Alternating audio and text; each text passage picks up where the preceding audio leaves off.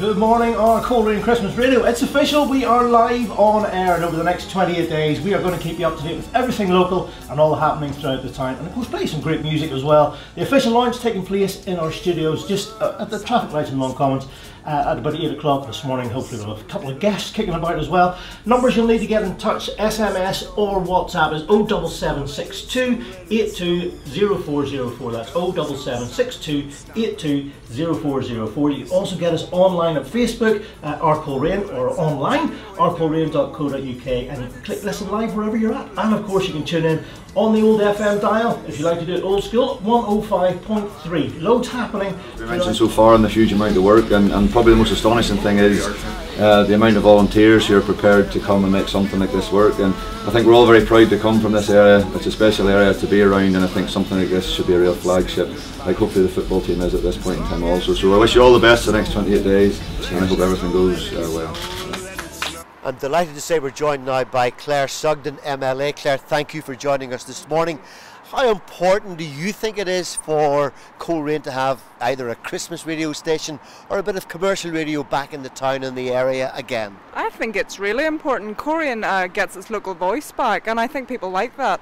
I think they like to hear from local people, they like to hear about local stories, they like to hear about local issues, and I think it brings a bit of energy and buzz back to the town. You know, certainly in the, the build up to the launch today, we you know we saw that energy, and we see that the DJs are, are getting really interested because they're here, they're, they're, they're from Coleraine and, and that's what it's all about. It's our Coleraine. We have officially launched our Coleraine Christmas radio station thanks to the gentleman on either side of me. Uh, a quick word from Ian Donaghy. Yes, delighted this morning to attend the opening of the bid. Uh, for the radio station. Uh, I hope it'll be a great success in Coleraine during the next 28 days. And to Jimmy Hamill, also from Coleraine Bid, did you think this moment would eventually and finally arrive? Well, um, I had faith in you guys, Dennis.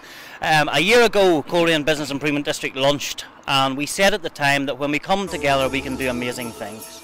And here we are. This is something amazing for Coleraine. All of Coleraine, the businesses, the local communities, everybody. Brilliant day. Indeed it is. And as uh, Jimmy said or alluded to, this is the first ever uh, Christmas radio station in the town. It's the first commercial station in some 10 years. Uh, a lot of that thanks to the, the man standing alongside me here, the technical man, Alistair Nichol.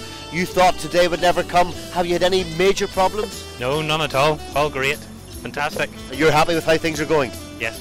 Four happy men, hard to find them sometimes around Coleraine, but here we are this morning, and we do wish that you will tune in to us here at our Coleraine Christmas Radio on 105.3 FM and enjoy. Good morning, Coleraine. You're listening to our Coleraine Christmas Radio on 105.3 FM. It's G with you from now until 1 pm, playing all your favourite tunes. Coming up in the show, we have some Ed Sheeran, some Willie Nelson, some Bonnie Tyler.